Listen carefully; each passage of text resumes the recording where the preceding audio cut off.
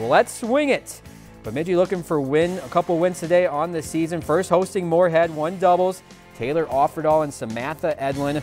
And then with the great touch here for the winner. Then two singles. First Laura Palmer serving. And that's just useful. Using the backhand later here. Nice placement for the point for Palmer. And finally, another impressive Abby Kelm highlight. I mean, how do you defend this? Well, that's the ongoing question in the area. She wins again today. They Lumberjacks win both of these 7-0 in match one and 6-1 in match two. If you've enjoyed this segment of Lakeland News, please consider making a tax-deductible contribution to Lakeland Public Television.